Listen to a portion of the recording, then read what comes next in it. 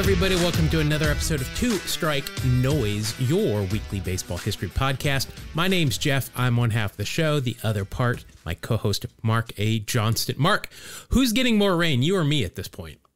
Well, I tell you what, we had uh, what they call the bomb cyclone, which I'm still not sure what it is, but uh, what about that for a minor league baseball team, the bomb cyclones? it's the entire entire West Coast. We're we're getting bomb cycled as well. Yeah, it's uh, late in the day as we record this. It's 3 p.m. Pacific and it's nice and dark. You know, I remember working Mariners games and driving home at 10 o'clock and it still being, I had to drive with, with my lights on, but if I looked to the west, it was still, I still saw sure. blue sky. And then, yeah, yeah, the winter, it's like three o'clock and it's pitch black. Yep. It's bizarre. And I don't know why we do the uh, whole daylight savings. I don't really understand the, the, whole thing in itself. I, you know, whatever. It's for the farmers. They used to not have me. lights on their tractors. okay. Well, whatever you say, man. All right. Well, uh, let's get into the show here. We've got stuff to discuss for this off-season uh, episode. So let's get right into our BP segment. Now, Mark, I uh, we've talked about Steve Garvey quite a bit on this show. We've did a whole episode on him. We urged anybody living here in California like myself to not vote for him, and he did not. He was not elected, thankfully. He had no shot, none. He, he, well, I was still worried because it's Steve Garvey, and my God, the guy is just made for. He's like Russell Wilson. So the, the, one of the few NFL players I know, Russell Wilson. When he was in Seattle and I lived there, I thought this guy would be huge in 1980 because he had that squeaky good guy image, and he kind of like Gary Carter too. You know how he drove his teammates crazy by always knowing where the camera was and always looking, and that's what yeah. Steve Garvey is. He's one of those guys. But what I did see is I saw a video on uh, the Steve Garvey Celebrity Bill Fishing Tournament. Oh, I didn't get invited to that. Well, I'm sorry. It's the Bill Fish fishing tournament. Well, and this happened mm. in the 80s, so there's probably a reason you didn't get an invite. Oh, yeah. Probably my invitation got lost again. Yeah. So, first of all, it's awful. It's just it's hosted by Steve Garvey and he's doing exactly what I said. He's doing the kind of slimy, I'm so perfect hair coiffed. But I also want to address the Bill Fish because that is not a it's not one of the celebrities. It that is, is actually it's actually what a blue marlin is referred to, though through the entire uh, show they call it a, a, marlin or a blue marlin. I don't think they call it a billfish once. So I'm a little confused about. There's the, no middle name of the. Is there like Smokey the Bear? Bill no, the fish. Just Bill. A okay. billfish is, I guess, what a marlin is officially called or something. But now, no, if billfish, if there was a celebrity named Bill Fish on this, though, they would have been the most famous celebrity to be involved. Big time, huh? Just saying. They introduced quote unquote legendary comedian Arte Johnson. Arte Johnson from Match Game? Wow. Uh, uh, was he on Match Game? I I have here you might remember him from Assault of the Party Nerds 2, The Heavy petting detective.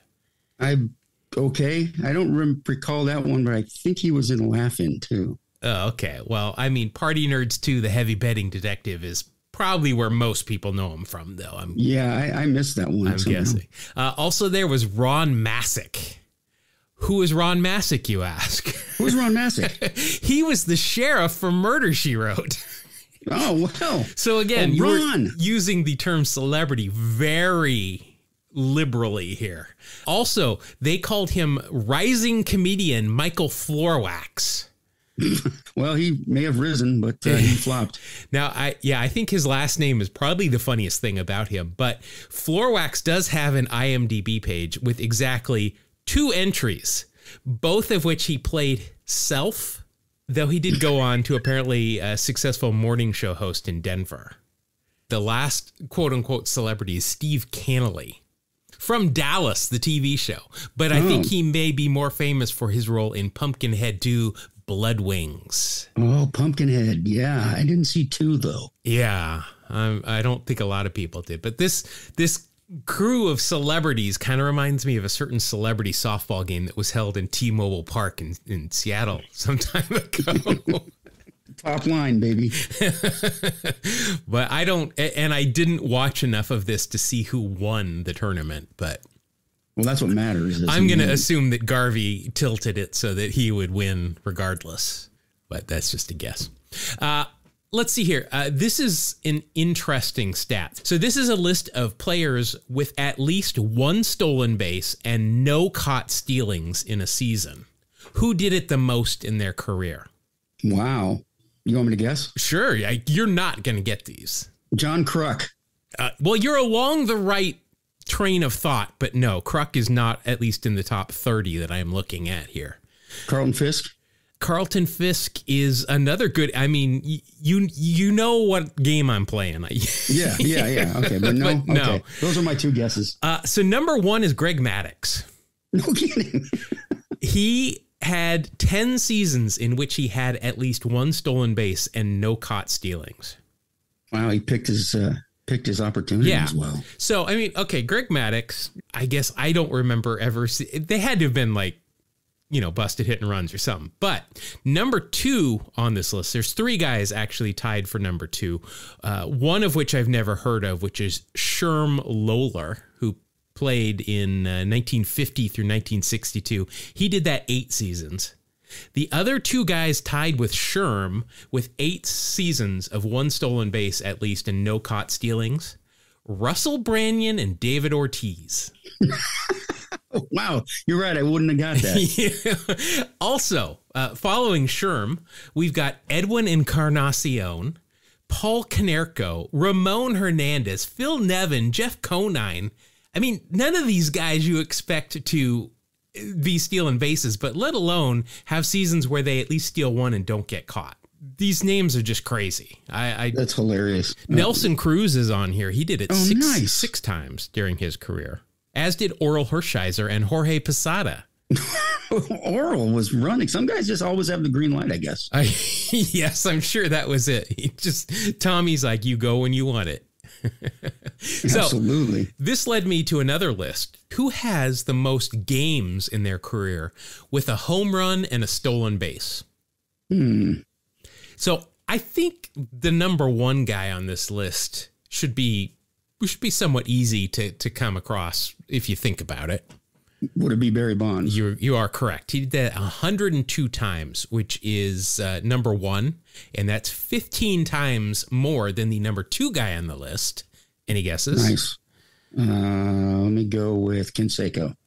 Uh, no, he is not on this list. Uh, it would be Rickey Henderson. Oh, that makes sense. Some yeah. guy we've talked about. He did it 87 times. He had a home run and a stolen base in a game. And then uh, you jump down to number three, who did it 65 times as A Rod. And then Bobby Bonds is number four. So number one and number four are Bonds people. Represented by the Bonds family. The Bonds peoples. And then Willie Mays is six, and Barry was was his godson. So that kind of connects. Interesting. And Rickey Henderson chose 24 with the Yankees to honor Willie Mays. So That's it's all right. yes. it's connecting. It's it's all in there. And that led me to one more thing. because the person who posted that is Christopher Kamka. He is a pretty prolific poster on social media. He does a lot of a lot of baseball stuff. And I don't remember Mark if we've talked about this before. I seem to think we have, but I forgot about it. And so this kind of sparked my memory. When we're opening upper deck cards and we get one of those collector's choices where it's artwork of the player, uh-huh. Vernon Wells' father is the artist on some of those. Yeah, Vernon Senior, right? I don't know if it must be. It says was done by Vernon Wells. It doesn't say senior or junior, but we know that yeah. he's got a son named Vernon Wells. I know. I I mean, I remember because a buddy of mine was uh, he's an artist as well, and he was always talking about Vernon Wells, his paintings and so on. I I yeah, I think we've talked about it, but I just didn't remember it. So now I remember. okay, last thing here in BP before we get into the main part of the show. Do you know who Mark McGwire got his first hit off of? Jeez, no, I don't. August 26, 1986. So you were in you were in the the Rainiers or the Tigers, I guess, locker room at this point. That was right? Tigers times, yeah. Yeah. Mark McGwire got his first hit off of a guy who, when this pitcher needed to go get a filling, would go to Mark McGwire's dad. it's Tommy John. No kidding. Tommy John's dentist was Mark McGwire's dad. Wow. You know what? And that's, uh, I think that's like a Kevin Bacon thing. You can get everything back to Mark McGwire's dad by like six steps. Yeah. Well, you remember when McGwire came up, he was a third baseman. Yes. He played third for the Tigers. Yeah. For Tacoma Tigers. Yeah. Also, I would mention that Mark McGwire's first major league hit was a single to center field, fielded by none other than number 24 in pinstripes, Rickey Henderson.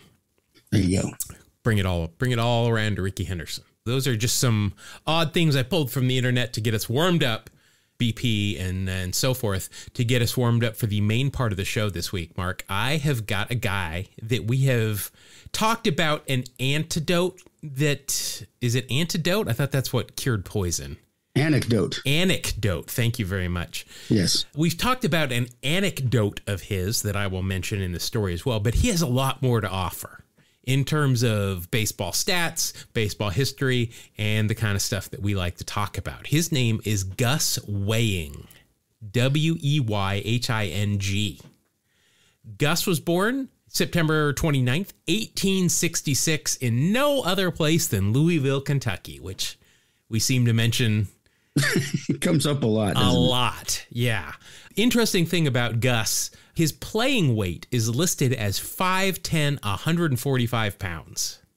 That's wow. uh, that's a small drink of water, I guess is yes. what you would call him. That, by the way, is the same height as Sonny Gray and Billy Wagner, just to put it in perspective huh. of guys that you see today. But they don't weigh; they weigh a bit more than 145 pounds. Right.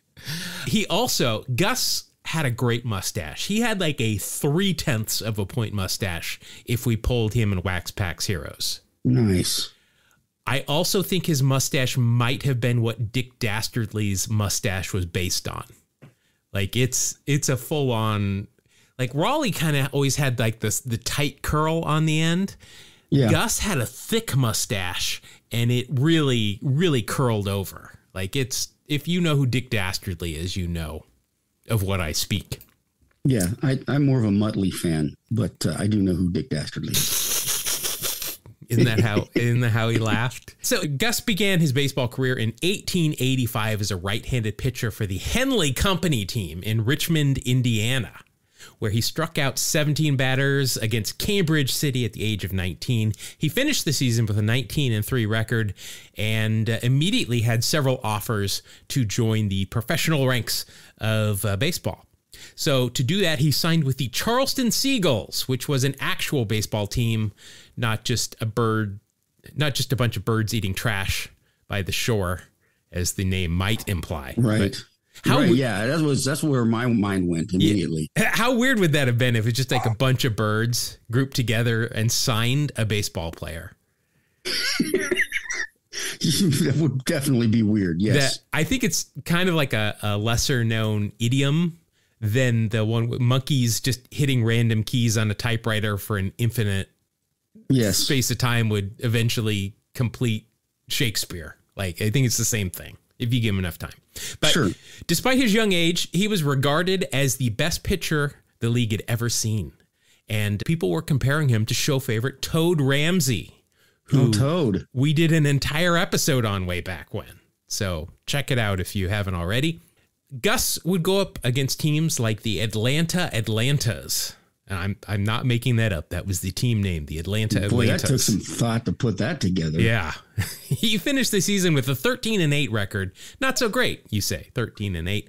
Uh, but this is why records for pitchers are so overrated and we we talk about them, but they're not that important because despite a 13 and 8 record, his ERA that season uh, across 32 starts was 0.76. and he what he lost 8 games? He he lost no, he lost 18 games. Eight, 18 games. 13 and 18. Okay. So if you look across that, he pitched 298 innings he gave up 144 runs, 25 of which were earned. okay.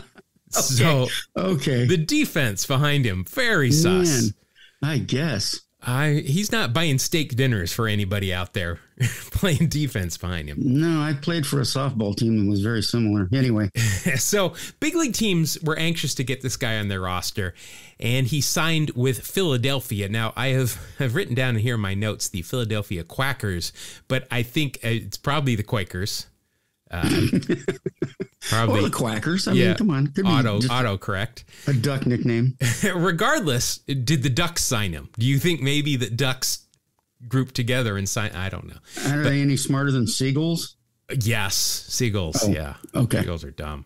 Uh, regardless, after two appearances in two exhibition games, the Quakers released him. So maybe they were quackers, quacks to release somebody this. I mean, two exhibition games, and they're like, yeah, no. So the Crosstown Athletics picked him up. In his rookie season, he went 26 and 28 with a 4.27 ERA. To his credit, he did pitch 466 innings in the season. That's a lot. Nobody even pitches half of that anymore. No, no, that's amazing. And in something that would become a theme during his career, Gus led the league in hit batters with 37, and he uncorked 49 wild pitches, which Frankly, neither of those is going to help the old ERA because no. those are still earned runs uh, on on both of those if they score. Uh, I want to highlight one start in particular in his rookie season. It's July 16th at St. Louis. While on the mound, a runaway team of horses ran onto the field at the end of the third inning. This story says that St. Louis first baseman and uh, later cheapskate owner of the Black Sox slash White Sox, Charles Comiskey, quote, daringly captured the horses and saved the carriage, end quote. what? Wow. A lot of places where baseball was played at this point didn't have fences and there were no cars. And so people would just bring their horses and tie them up or not tie them up, I guess, in this case, and go stand in the outfield and watch the game or something. But now I can totally see this on like a Hollywood film. He's being dragged alongside this carriage. He pulls himself up by the reins of one of the horses as they tear around the field and he he gets them to stop right before they run over a cliff. Yeah, some here by the baseball field with a baby sleeping soundly in the back, unaware of the danger. Right there, you go. That no, that if it were Hollywood, yeah, but more Absolutely. likely the the horses probably just kind of milled onto the outfield, probably eating grass, and stood there while Comiskey probably just grabbed the reins and slowly walked them back off the field. Yeah, but, but you're you're throwing cold water on a great uh, story, man. I know, but I'm just being I I want I want our listeners to be able to hear the story that's told and then hear what probably happened. That's okay. what we do. All right. The next two seasons, Gus continued to hit batters and miss catchers at an alarming rate, but his ERA did shrink to 2.25 and 2.95, and he went a combined 58 and 39 over those two seasons, including a no hitter against the Kansas City Cowboys before jumping to the short lived Players League in 1890, where he went 30 and 16 and only hit 21 batters. Now, 21 batters, that's 16 fewer than his best season in the National League. So I don't know. Were batters harder to hit in the Players League or what? I don't. I don't understand the correlation there. But yeah, maybe they bobbed and weaved better or something. Maybe you they were thinner, so he That's had it. smaller target. Then uh, tough times hit Gus. Unfortunately, his mother died, followed just weeks later by his brother passing away. His brother, by the way, he also spent some time in the big leagues. These deaths hit Gus hard, and his personality changed a little bit. One of those instances where you could see he was a, a different person. He was sitting in the stands watching his team play a game because he wasn't pitching that day. And he started to heckle the umpire and eventually got tossed from the stadium by the ump. He returned after the game, having spent the rest of the game at a bar, and was arrested for using vile language in the presence of ladies, which oh. was apparently a punishable crime at the time. Well, as it should have been. Think if we had that today with social media, it well, would just. Well, I've heard some ladies that could. Uh, oh yeah, cuss the wallpaper off a wall. I yeah, mean, yeah. I, I, I they, could they go get arrested for swearing in front of themselves? I don't know. I you were the one that was like in school at this time, not me. wow, ouch. Yeah. But yeah, it's true. Just showing that baseball players have always been known to play practical jokes on each other. This is 1890, mind you, and while at a bar drinking with teammates, Gus was bet whether he could throw the sandwiches that the team were eating on specific parts of the ceiling of this bar, which happened to have hand painted decorations on it. So I assume that Gus pretended the, the paintings that he was aiming at were batters because he hit them. They ended up with a quote, huge plot of butter and mustard, end quote, on the ceiling. Which that's that's probably not the only time that happened there is what I'm thinking. well, does this mean that they were eating mustard and butter sandwiches? Was that Ugh. a thing? I don't know. Mm, yeah. His teammates, seeing the chance for a even greater prank on Gus, got together with a private investigator and had him arrested for this damage. He was uh, issued a phony arrest warrant by this private investigator, and his teammates were given fake subpoenas to come and testify. The district's attorney office even played along with this Jeez. and had somebody, quote unquote, formally publicize the allegations against Gus.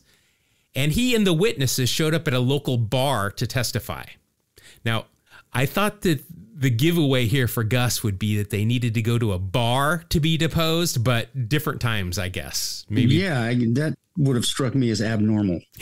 so Gus was handed a one year prison term by this uh, by this fake judge, and he panicked, thinking that he was going to go to jail. And he, he's like, "Oh, I'll pay whatever was done. I'll pay twice as much. Just I don't put me in jail." So he was finally let in on the joke, but was forced to pay the bar tab for the team and everybody involved at the bar that they were at. But this joke made its way back to the owner of the original bar where the paintings had been hit with the with the sandwiches. Gus was then for real charged with intentional mischief, which resulted in damage estimated at $200 and an actual arrest warrant for him was issued. But he had already taken off for Louisville for the offseason and yeah, he got away with it. That's hardly fair to charge a guy twice, even if one of them was a practical joke. I mean, what about double jeopardy? I don't. Was that a thing back then? I don't know. I don't know what no, double no, jeopardy. like in the Constitution. Never mind. It's all good. Oh well, was the Constitution around in 1890? I'm not a political. We were still voting scholar. on it. Oh, yeah. okay. After the Players League folded, Gus returned to the American Association with the Athletics, posting a career high 9.8 WAR for the season Ooh. and going 31 and 20 despite the familiar hit, batter, and wild pitch totals. This was the third of four consecutive seasons in which Gus would win 30 or more games. So, I mean, this guy's good. Following this season, this version of the Athletics folded, and Gus was looking for a new team. But uh, until he was signed, he needed money to live on, so he turned to a life of crime. so he, he, what you're saying is he hadn't built up any real uh, usable skills. Well, I, yeah, he didn't have any money because he had to pay all these bar tabs for this joke that everybody was in on, but him. Sure. But Gus, just like Mike Tyson, was a fan of pigeons. And uh, we talked about this one before. I don't remember in what context it came up, but he had entered several of his own pigeons in a Louisville pigeon show, which apparently was a thing. And as he was leaving the show with his birds, he saw a couple of other pigeons he liked, so he just took them, put them in his basket, tried to walk off. Now, I really wish he'd been wearing a trench coat because it would have been good comedy. Not so much for the birds, but to like put them in inside pockets you know, yes. to kind of hide them. But regardless, he was caught trying to steal these wonderful pigeons.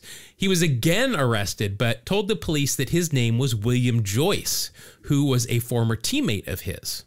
My suspicions here are is that William Joyce was in on this original sandwich prank, and uh, Gus was trying to get back at him by having him take the fall for the pigeons. I don't know. Definitely a possibility. Yeah. Just, just floating it. Uh, the case went to court, but the pigeons owner didn't bother to show up once he found out who had actually stolen the pigeons because he was a famous baseball player. the case was dismissed and he suffered no consequences for stealing birds or for telling the police that he was somebody else. Privilege.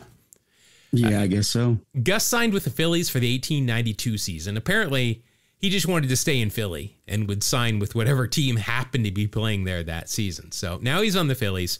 We've already established that Gus likes pigeons, right? Uh, birds right, of yeah. all sort, I'm sure, but he liked pigeons for sure. So he liked them so much that he had a coup. a coup, a coop. What what are the? I can't pronounce It's words a- today. It's a, I think the P is silent. A coup. I can pterodactyl. All right. Well, he had a birdhouse, a big birdhouse. How about that? He had a big birdhouse built at the ballpark to, to house these things. But some of them went missing shortly after the circus pulled into town, and one of their snakes escaped its pen. Uh oh. Gus and teammate Lav Ross, not Bob Ross, Lav Ross, L A V E, and the last name is V R O S S. I've how many guys do you find with two V's in their name? Ross. Ross. Well, they found the snake and they shot it. Apparently, they shot it a, like a lot, like too many times. It was already dead and they just kept shooting, I think, because they were angry. But the snake was cut open and several of their missing birds were found inside the stomach. Gus had the snake skin turned into shoes that he wore around, apparently as a warning to other snakes that were thinking about messing with his birds, is my guess. Yeah, that, that's definitely a sign. Then something happened uh, that changed Gus's career, and not for the better. Prior to the 1893 season, the National League abolished the pitcher's box, moving the pitcher from 50 feet back now to the standard 60 feet 6 inches. Despite being only 26 years old, Gus had a real hard time adjusting to this change. He spent time on three different teams that year, ineffective on all of them, including his hometown Louisville Colonels. And in an odd twist, we are mentioning the Louisville Colonels, but not mentioning Pete Brown, who was never a teammate of Gus, if you can believe it. That's interesting. Yeah. Yeah. How does that not happen? I don't know. Uh, his season highlight, though, not a good season, obviously. Three different teams, not good with any of them, but his season highlight might have actually been when he got into a fist fight with umpire Fred Jane in a train car that was uh, headed to Louisville. Okay. Well, you know, if you can't win on the field, Yeah, do it. Uh, the rest of Gus's career in the major leagues looked a lot like Edwin Jackson's, just team after team after team, often two or three in a season, but all with very little effectiveness. Essentially, he was just a body to fill out a rotation as needed. Gus's last full time spot in baseball was 1903, but he resurfaced in 1910 in the Western Association as the manager of the Tulsa Producers. Beyond The managing, yeah, the producers. I- was it named after the Broadway show? I don't know. and yeah, I mean that that's also a, a a lot of stress put on them if you don't produce. Well, I assume, and, and here's just me being serious. Tulsa producers because like they produce oil in Tulsa in Oklahoma. Was that really? Um, well, I mean, they could they have produced runs. they could have been the Tulsa Tulsas as Atlanta has Yes, shown us. Don't be the afraid. Atlantas. Don't be afraid to embrace the double name. But Yeah. beyond managing, he apparently, Mark, dabbled in some scorekeeping and in stadium production. Nice. This of interest to you and I. Gus is credited with innovating the displaying of National League, American League, and Western Association game scores in the ballpark, quote, as quickly as they can be bulletined, end quote. Which in 1910, I don't know. Maybe you you got the score the next day. May, I, it, maybe it wasn't the same. I don't know. But apparently, he wanted to show scores from uh, other games and did so. So we have Gus to thank for out of town scores in stadiums and arenas today. That's awesome. Yeah. This innovation wasn't enough, though. He didn't last long there. Uh, the team actually went through three managers in the first two months of the season. So the producers, I don't know what they're producing. I guess they're producing a lot of managers. But he caught on as a player with another team in the league, the Galveston Sand Crabs, which I'm not going to have to go through and tell everybody it was not actually Sand Crabs that signed him. It was a team where he pitched two games before being released. The next day after being released, he applied to be an umpire in the league and debuted a month later. It didn't go hmm. well. Not No. no. He was accused of again using coarse language and just of not being very good. Which, I mean, Angel Hernandez would have had a much shorter career if these rules still applied in baseball today. But Yeah, that's uh, not not being very good doesn't seem to stop a lot of no, guys. certainly does not. Gus finally left baseball for good and found work at several odd jobs until he passed away in 1955. Now, a couple of closing notes about Gus and his place in baseball history. First of all, in January 1901, he married Mamie Garrick. future cousin of Yankees future star Lou Gehrig, who was born two years later. Huh. He should have taken his her last name. No kidding. It might have helped him a little bit down yeah, the road. That, that'll bump up the old batting average. well, even though he's a, I think he had a 166 career batting average. So I mean, really anything could have bumped Yeah. up his career batting average.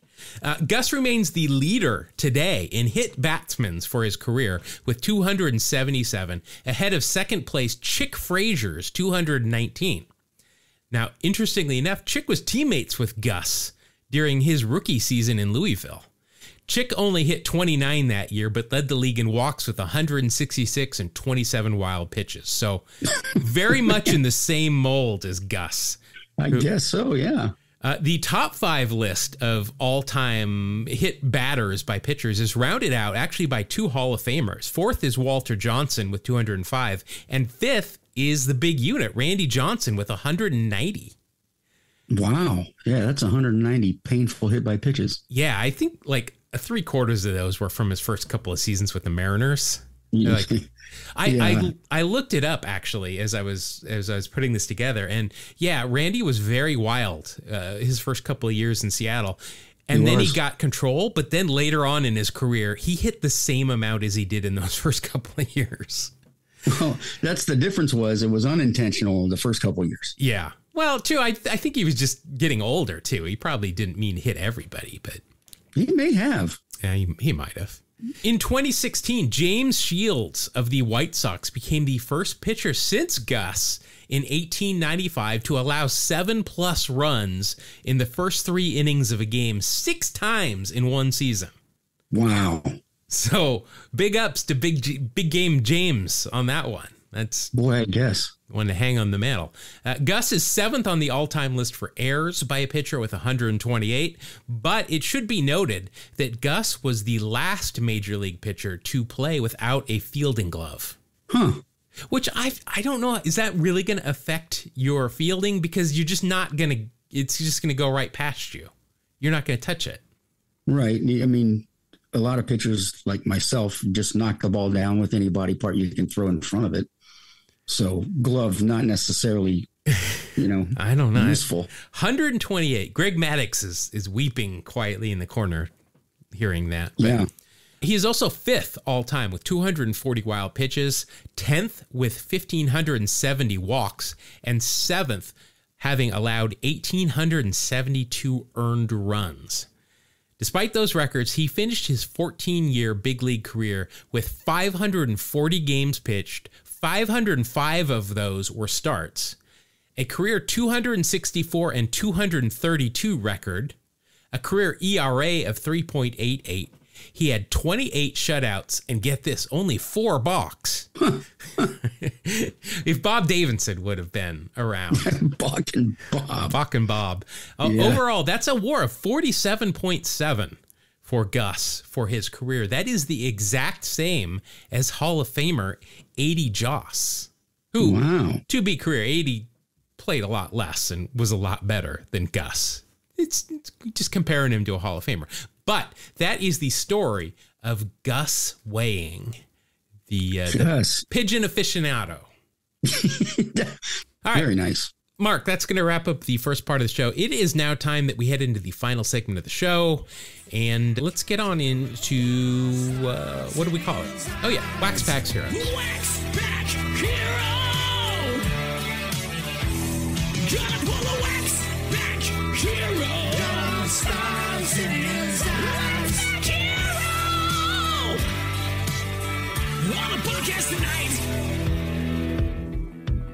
All right, Mark, looking at the scoreboard, we're getting serious now. The score is 11 to 9. I am ahead. We're playing first to 20. It was like 11 to 7 just a couple of weeks ago, and we have really kind of lost our our our way here and you've won a couple but uh, we're going to get back on it but before we do let us first go over the rules if you are new here we're going to open up some packs of old baseball cards in this case we are going to open up some what did i say they were 1989 Topps which these are different 89 Topps because they're bigger than usual and i don't know why but we're going to open these up and uh, what we're going to do is we're going to play like the old card game of war uh, with baseball cards. The way we're going to do that is we are going to each throw down a card and we're going to look at the player's baseball reference war of that year. In this case, it would be 1989. Whoever has the highest war wins that round. But there are a couple of things that can either add or subtract from that score. Anything that falls within the umbrella of 80s baseball aesthetics. So that means real stirrups where we can see sanitary socks.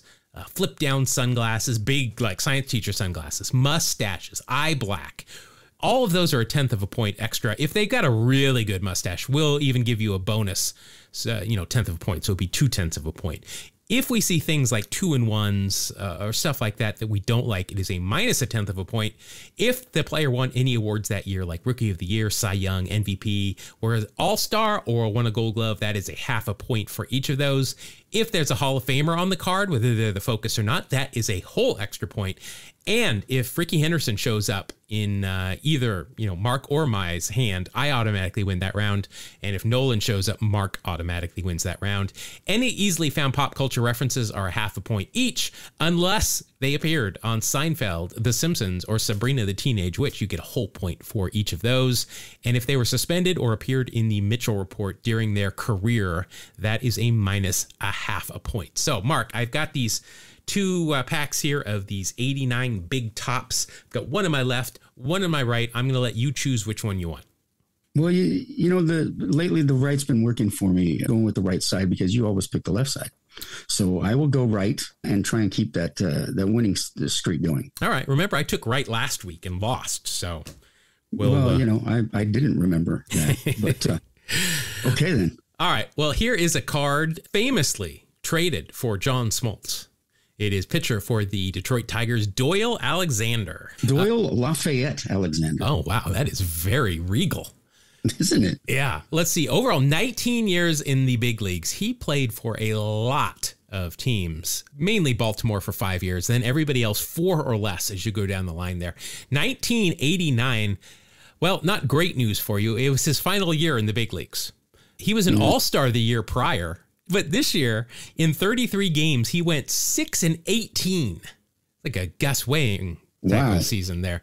Uh, with a 4.44 ERA, led the league in uh, home runs allowed with 23. Pitched 223 innings, gave up 245 hits, struck out 95, and that is an ERA plus of 87. And that will lead to a war of 1.7.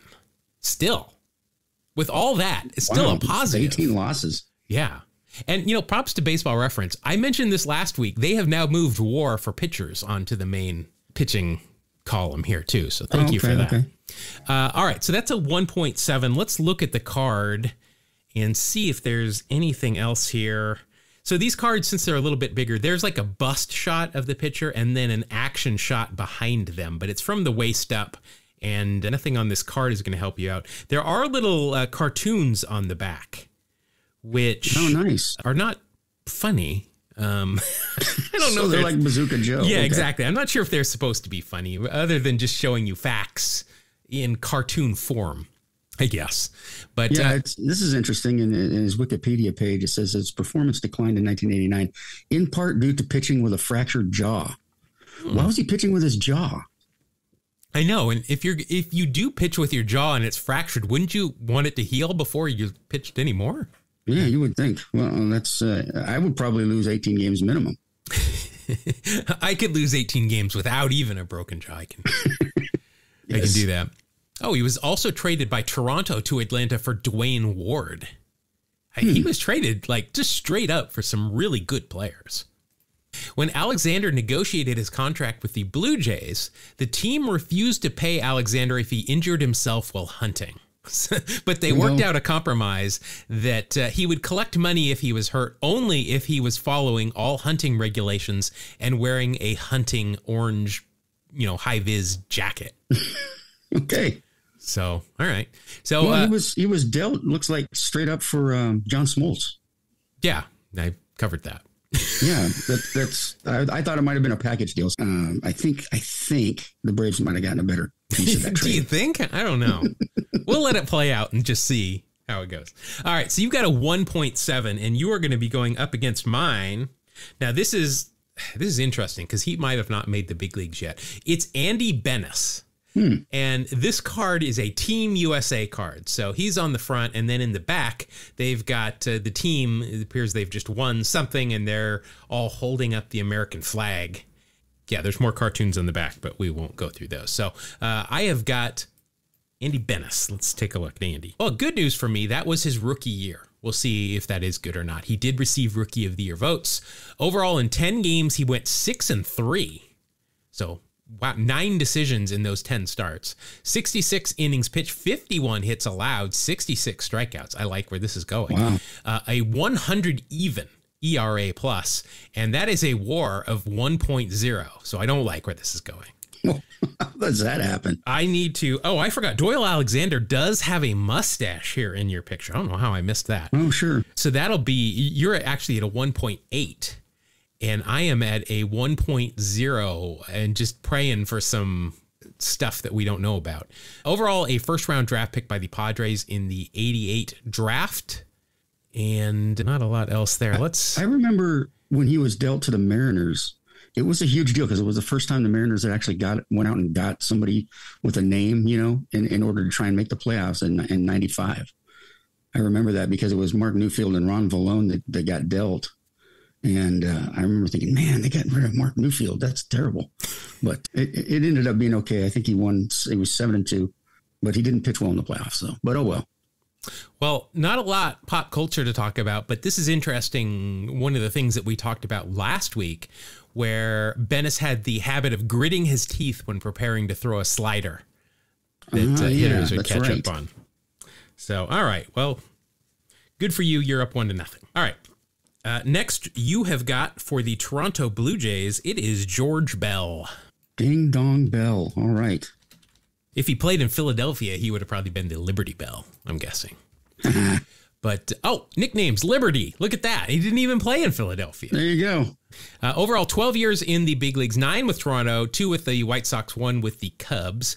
1989, let's see, he hit 297, 330 on base, 18 home runs, 104 RBI, and led the league with 14 sacrifice flies and a OPS plus of 126. He came in fourth in MVP balloting, and that is good for a war of 3.0. He does have a mustache here and he does have real stirrups on. So Nice. that'll be a 3.2. Now, the down part of these uh, cards is that the shot behind the bust is always so far away, it's kind of hard. Like, I can't tell if he's got eye black or, uh, you know, those kind of things on it. Right, so, right. Oh, here, here's a cartoon that actually has some information. Has hit two home runs over the left field roof at Comiskey Park. And his brother plays in the Dodgers chain, it says. 265 career home runs, over 1,000 runs batted in, only a 316 on base percentage and a 469 slugging. Although he uh, was a better fielder than apparently we gave him credit for. How about this? Uh, Bell became the first player in Major League history, the first player, I say, to hit three home runs on opening day, all coming off our guy, Bret Saberhagen. Oops. Probably too busy trying to come up with his next hit record. Yes. Oh, the fans got on him at one point for uh, committing an error, and he told the media that the fans could, quote, kiss my purple butt, end quote. what is you get a going on with his butt? butt if it's purple? You should have the trainer look at that immediately. Yeah, that's uh you don't want to have a purple butt, I don't think. No, and you know who the uh, who the longtime play-by-play announcer was for the Blue Jays at that point? Tom Cheek. Okay, well there that somehow fits. I can't figure out a way to make it work in one sentence, but I, I liked where you're going with that. All right, so you got a 3.2 and well, I like this guy. I don't I don't know that he's going to be able to beat a 3.2. Here he is with the Cardinals, Tom Brunansky. I remember Brunansky as as a Minnesota twin. Yeah, cuz he was on those Twins team, they like the 87 Twins team, I think. Yeah, he was on the Twins in 87 when they won the World Series. I definitely remember him there as well. Overall, 14 years in the big league, seven with the Twins, four with Boston, then St. Louis, Milwaukee, and California. In 1989 with St. Louis, 239 batting average, a 312 on base, 20 home runs, 85 RBI, and a 103 OPS plus. That is good for a 1.7 war. He didn't do great in that 87 World Series, but he tore it up against Detroit in the ALCS. Before that, hmm. he had 412 in five games, including Wow. two home runs and nine RBI. Nice. Was wow. I, I wonder if he was the MVP of that ALCS. It doesn't tell me if he was or not. First round draft pick by the Angels in 1978 and was once traded straight up for Lee Smith. But that's probably not as important as the time he was traded straight up for Dave Valle. Wow. Yeah, there you go. I love Dave Valle. That's awesome. It's uh, interesting. Brunansky became a fixture in right field for the Twins through the 87 season. He became the only twin in franchise history to hit an inside the park grand slam. Hmm. Everybody's got a hustle on those. Yeah, Dan Wilson. Uh, Yeah. speaking of Mariners catchers, he had an inside the park grand slam. And nothing else is going to add on to that. So, unfortunately, that round likewise goes to you. I'm, I don't know, man. We we we might need a managerial change if this keeps up. All right, your next card here with the Chicago White Sox in these awesome uniforms that their jersey number is on their left thigh as well on their pants. It's Dan Pasqua. Dan Pasqua. Yeah, boy, that's a name I haven't heard in a while. What Except is? I just want to know what is the what is the thought process behind putting the jersey number on the thigh of the pants? You got me on that one, man. I don't know. Let's see. Overall, Pasqua, 10 years in the big league, seven with the White Sox, three with the Yankees. I know he was there when Rickey was in New York. Let's see. In 1989, with the White Sox, 248 average, 315 on base, 11 home runs, 47 RBI, and a 111 OPS plus for a war of 1.1. Well, at least it's a positive. Yeah, now looking at this, well, I'm going to give you a tenth of a point for having his jersey number on his thigh. No, I, I'm, I'm in agreement with that one. That's That uh, is definitely an 80s baseball aesthetic right there. Yeah, for sure. When- That'll bring you up to 1.2 just off the card itself. This is this is kind of awesome. Former high school classmate of Pasqua was sentenced to six months in jail for impersonating Pasqua in order to swindle two women out of a combined eight thousand dollars. Wow. Okay. That's I think that's a law in, in a couple of states is impersonating Dan Pasqua. You can't be doing that. Well, at one point, the Expos tried to trade Andre Dawson for Dan Pasqua. And we're rebuffed. they were rebuffed, is what, no, rebuked is what it says. Wow. I think that might have been a mistake by somebody. Wow, man. the I hawk guess. straight up for, for Dan, Dan Pasqua, Pasqua. yeah. Yeah. Believe it or not, no uh, no pop culture references. Yeah. Uh, Well, I got a shot here. Who, who, who do you have, man? all right, so uh, you've got a 1.2 and going up. Oh, well, I think I, I think I'm going to take this one because I got a Hall of Famer, Oh well, yeah. There you go. second baseman for the Cubs, none other than Spokangelos native Ryne Sandberg. Ryno. All right, let's see. Uh, Ryno overall, 16 years in the big leagues, 15 with the Cubs, and one 13 game season when he came up in 81 with the Phillies. Yeah, that's uh, that was a mistake. I, I'm just gonna I'm just gonna say it. I'm gonna go out on a limb and say that the Phillies made a mistake there. 1989 led the league in uh, runs scored with 104, only five triples. Did a little bit short of his 84 uh, total of 19 triples. Hit 290, 356 on base, 30 home runs, 76 RBI, a 134 OPS plus. He came in fourth in All Star balloting, was an All Star, and won a Gold Glove, and had a 6.1 WAR for that season. Also on the card, he's got real stirrups and he has got a pull over jersey, which uh, I think we should call an 80s baseball aesthetic. But For sure. Absolutely. none of this matters as I have obliterated Dan Pasqua. Poor Dan Pasqua. Traded by the Phillies with Larry Bowa to the Cubs for Ivan de Jesus. I think Ivan de Jesus is who I was confusing with Ivan Calderon last week. Oh, sure. I got my Ivans uh, mixed up. well, there's so many of them. Uh, yeah, I mean, except for uh, Pudge, that's the only other Avon I can think of. Yeah. Ryno has uh, been in some things, I think. I think we've talked about it, but we've talked about him enough, and that's a big enough win that uh, we're going to move on. It is now two to one. Your next card is another catcher. It is here, and I think of him as a Cub when I think of him. But here he is with Atlanta. It is Jody Davis. Oh, okay. I don't think we've ever had Jody Davis in I don't think so either. Yeah. Welcome, Jody. Welcome to Wax Packs. Welcome uh, to to our show. Uh, let's see. Overall, ten years in the big leagues, eight with Chicago, and then the the final three were in Atlanta. 1989. Uh, he was a backup catcher, 78 games. Uh, he hit 169 at 246 on base, four home runs, 19 RBI, and a 40 OPS plus for a WAR of minus 0.1. nice. Or I'm not, uh, no, that's just a minus one. that's not even a minus 0.1. That is a minus 1.0. Now, on the card, this is a great shot. It's at Riverfront Stadium, and it's between innings, and he is not catching this game, but he's warming up the pitcher in between innings. He's out there with his glove and his squat, but no catcher's gear on. It's a good shot, and you can see he's got real stirrups. You got that going for you at least. Okay. Well, there's something. Yeah. Um, let's see. Jody Davis, a good good defensive catcher, was replaced by rookie Damon Berryhill, my guy in Chicago. Uh, the, well, the last note here on, on Jody Davis, second cousin of former major league pitcher Wade Davis. Okay. So another cousin. But all right, you've got Jody Davis, a minus 0.9. Yes. Oh, I don't know. This is going to be close. I have got, I think he's an outfielder for Cleveland, Carmen Castillo.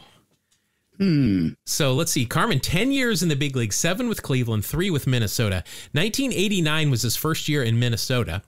Let's see, a 257 average, 305 on base, eight home runs, 33 RBI, a 106 OPS plus, and a war of minus 0.5. now, the good news for me is I can see he's got eye black on, but more than that, in this bust picture, he has got a batting helmet with no ear flaps. Oh, nice. We like that. So that will uh, take me to a minus 0.3, but we're not done yet. He might have been suspended. We don't know. We'll have to check it out here. I don't that would think be the worst use of a suspension ever. I, I'm not sure suspending him is going to really hurt anybody at this point. Nobody, nothing else here to really talk about. But the good news for me is that is a, a win in that round. Uh, Carmen takes down Jody Davis. All right, uh, your next card is a pitcher for the San Diego Padres, Eric Show, Eric, win, place, or shall. or really, really big Show. Yeah, that could work too. Isn't somebody else's nickname the really, really big? Rick Shoe.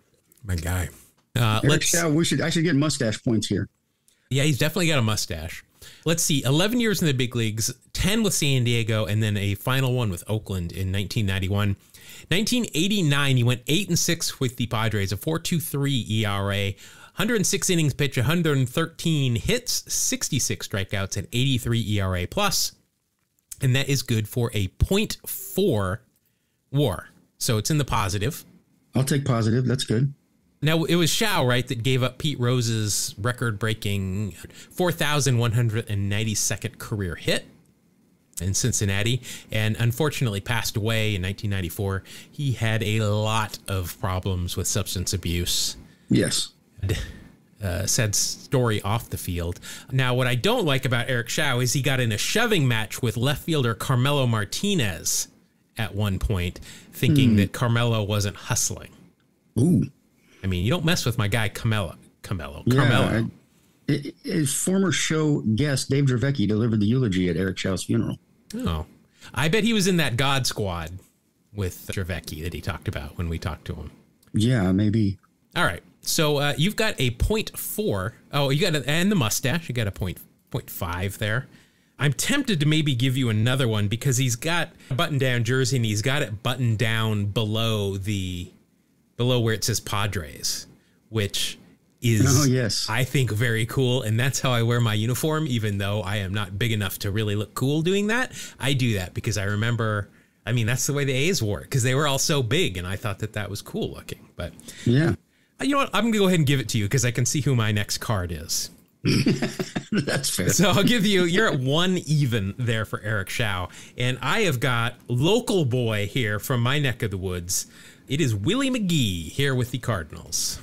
Yeah, I think you might have me here. Willie, his name is Willie, not William. Willie Dean McGee. Born in San Francisco. There you go.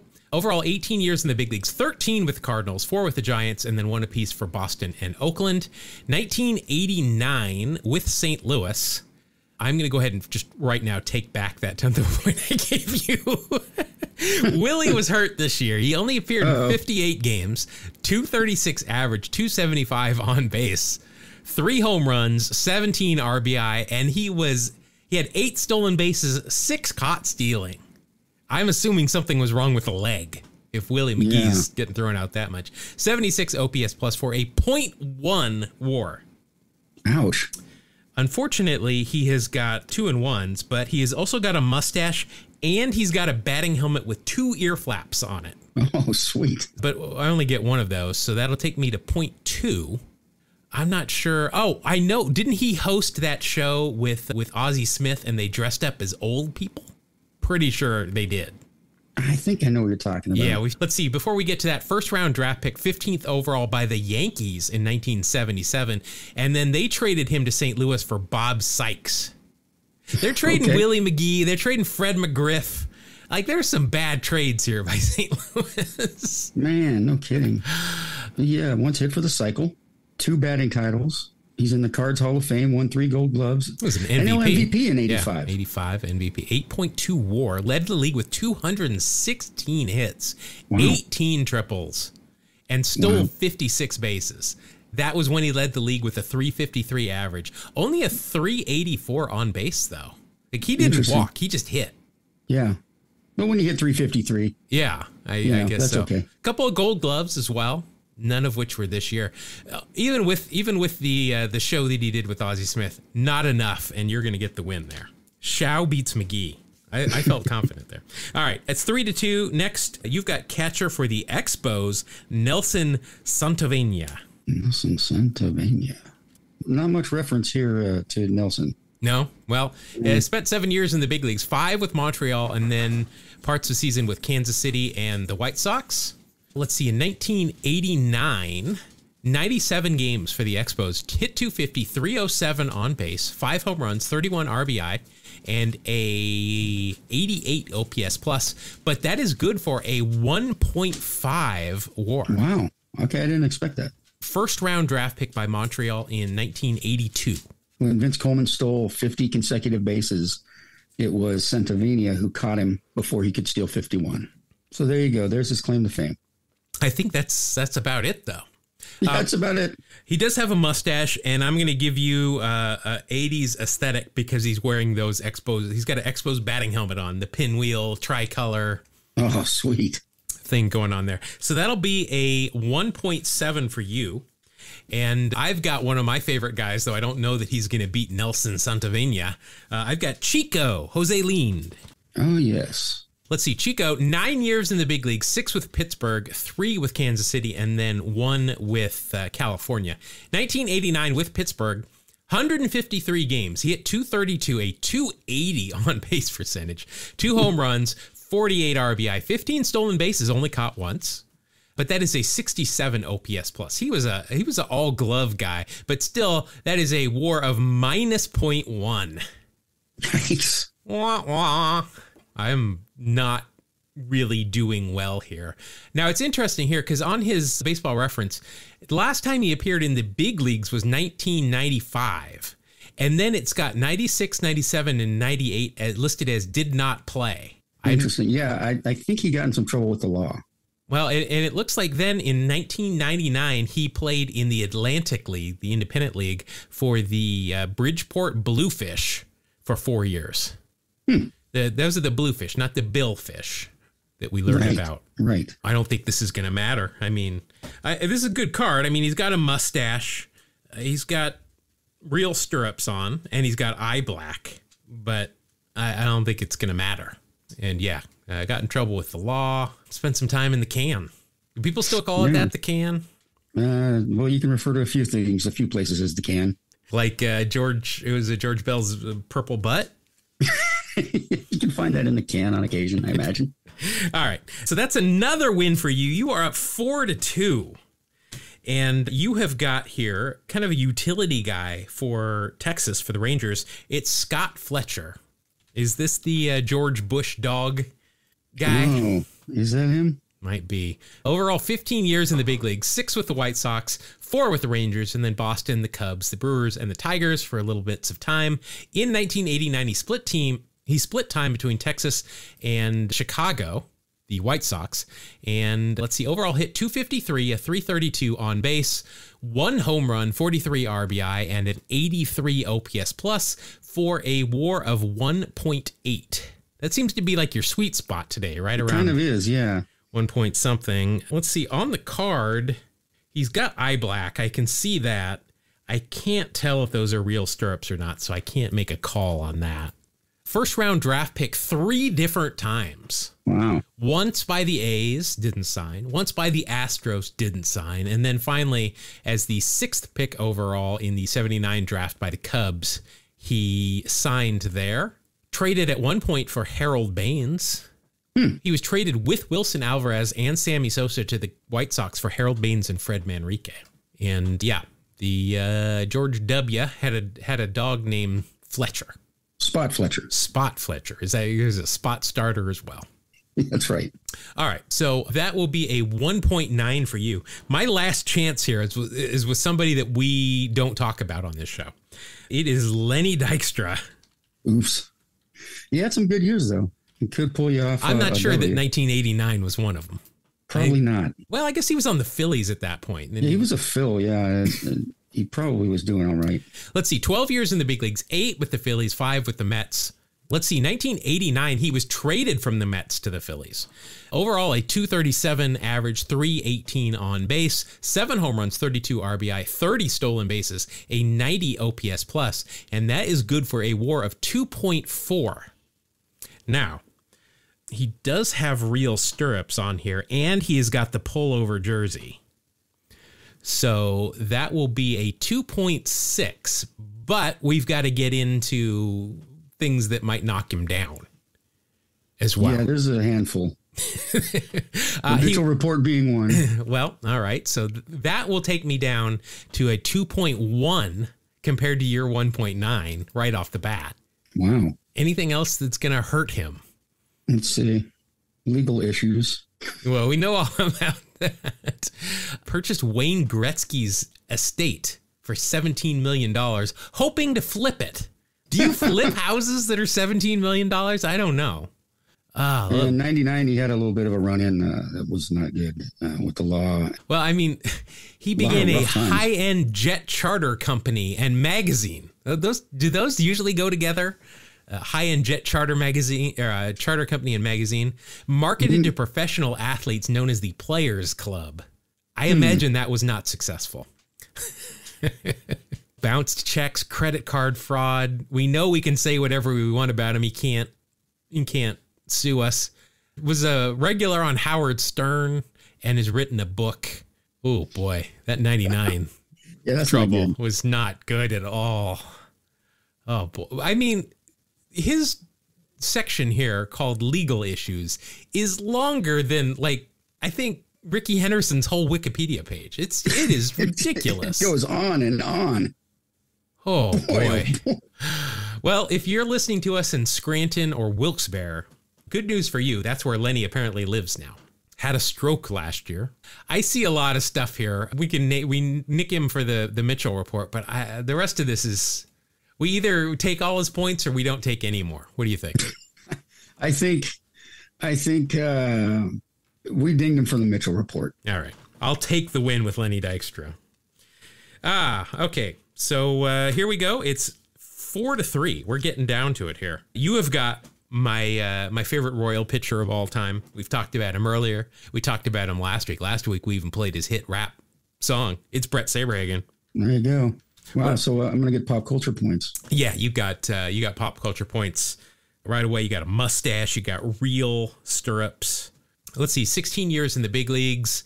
Kansas City for eight, Mets, Boston for four, and then Colorado for one.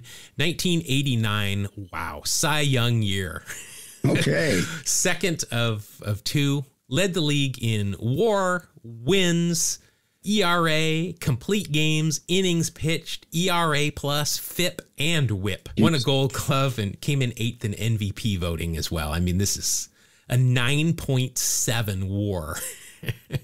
so, I mean, we've talked about Saberhagen quite a bit, so we're not going to go through anything else. Uh, just knowing that you've got over a 10 point war season i think will do it as my card is is a guy i like but uh, i don't think kevin mitchell's gonna gonna break the 10 war barrier. Not, although he, he sure could hit. yeah good power. Let's see nicknamed world mitchell monster boogie bear and tatanka. But you know i say that in 1989 he won the MVP award in the Oh, my. National League. It was also an all-star and led the league in home runs, RBI, slugging, on base, OPS, OPS plus, and total bases, as well as intentional walks. So he hit 291 with a 388 on base, 47 home runs, 125 RBI, a 192 OPS plus for a 6.9 WAR. But even with the the MVP and the All Star, that's a 7.9. He does have a mustache and real stirrups, so that'll be an 8.1. And you know, I'm still two whole points behind you. Yeah, I, I uh, did all right drawing the old Saberhagen card there. Yeah. So uh, yeah, I'm afraid that nothing I'm going to be able to do. He was traded with a lot of big names, or for a lot of big names as well, but that's not going to help me. And now you have crept within one win of me. It is ten to eleven, and uh, I'm going to have to have a meeting with the owner after this game. Closed door meeting time. uh, yeah, but I mean, you can't fire the players, so I'm probably going to be the one that takes the hit here on this one. But. All right. so. That'll do it for another edition of Wax Packs Heroes. Thank you for uh, joining us. That's also going to wrap up our uh, show for this week. If you want more of us, you can find us on all the social medias. All the links are in the show notes, or just do a Google search for Two Strike Noise. That's T W O Strike Noise. Be sure to check out our Blue Sky page as well as YouTube and Twitch. We're on there a couple of times a week. And we also have an email address that Mark was going to tell you about. Sure, you can write us with your angry comments at uh, two strike noise, spell it out, T W O, strike noise at gmail.com. I'm glad they're angry because you're the uh, you're the gatekeeper of that one. I so- don't show you those ones, man. They're probably all about me too, huh? Well, I'll take what I can get. Uh, it's engagement. That's what it is. There you go. That'll do it for this week's episode. We will see you again next week on another episode of Two Strike Noise. Thank you. God bless you. Have a great day.